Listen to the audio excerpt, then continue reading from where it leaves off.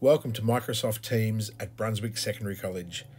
My name is Derek Glennie, and I'm the Learning Technologies Coordinator of Brunswick Secondary College. And I'm here to give you some information about how Microsoft Teams can enhance your students' learning. Microsoft Teams is an in house and secure place to learn, communicate, and collaborate. It's only available to people who have a Brunswick Secondary College login, and as such, only teachers and students can access the Microsoft Teams network. There are a number of ways that you can access Microsoft Teams, but if it's not installed on your device, then you'll need to go to www.office.com. When you log in with your Brunswick Secondary College email address and password, you'll notice that this gives you access to the entire Microsoft network. This includes Microsoft Teams, which is the icon with two purple people standing side by side. If you click this icon, this will give you access to the web version of Microsoft Teams. The web version of Teams is sufficient for most functions, but doesn't give you full access to the Microsoft Teams experience. In order to download the desktop application of Teams, you need to click on your initials in the top right hand corner of the screen and select to download the desktop app. Once you have logged on to Teams, you can access both the teams that you're a member of and the channels underneath those teams. Think of it like a folder with different sections. So here you can see that my 12 Psychology General team has an exam revision channel, a Unit 3 Area Study 1 channel, and so on. Each of those channels has both a conversations and a file section, plus whatever your teacher chooses to add. You might also note that the right hand version is in a dark mode and the left hand version is in light mode.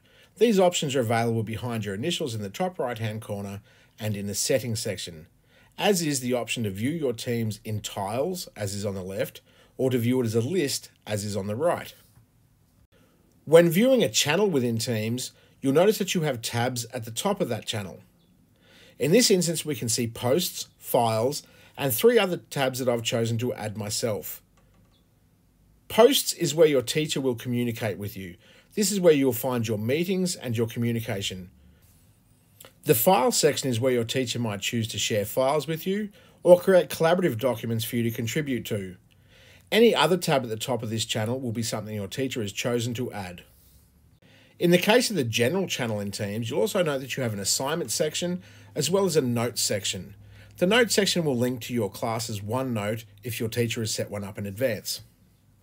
Throughout remote learning, you'll be following a normal class timetable, but rather going to a physical classroom, you'll be at home accessing a team. Staff will choose to communicate with you via a team, and it might be in the form of a meeting or it could be in the form of a post. If a meeting has been made, you will have to choose to join that meeting. In each case, the meeting or the post will appear in a channel for that team. Sometimes your staff will mention you in a post, so please keep an eye on the activity section. You can find the activity section on the left hand side of your screen under the bell icon. This will tell you when you've been notified of anything specific that is happening within your classroom teams. Just like a physical classroom, there are expectations of your involvement in Microsoft Teams classes. We expect you to be at your workstation with your class team open, ready to participate at the start of each lesson. When entering a meeting, please choose to keep your microphone muted to avoid feedback. This option will be available to you when you click Join. When contributing to a conversation in posts, please use the reply box rather than creating a new post. This will help to keep your post section clean. Have your camera turned on in meetings as this enhances the educational process for everyone.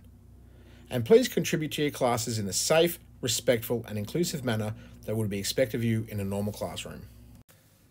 Your classroom teacher is an expert in the use of Microsoft Teams, so please don't hesitate to ask them any questions you might have. You can do this during a class or via email, which is available through Compass. You can even ask them directly through the post section of your team. If they can't answer your question directly, they can get back to you shortly with an answer. If you require IT support for login issues or hardware problems, please use the IT help page at the address linked here.